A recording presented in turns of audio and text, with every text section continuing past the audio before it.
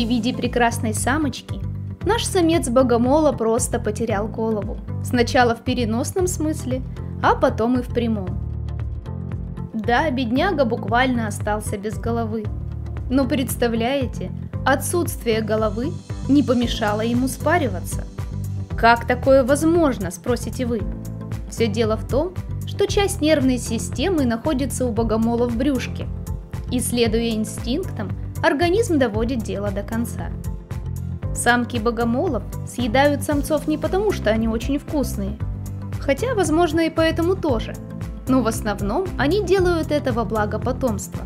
Биологический материал отца героя пойдет на производство кладки яиц, а самка на всю жизнь запомнит этого отважного и очень вкусного самца.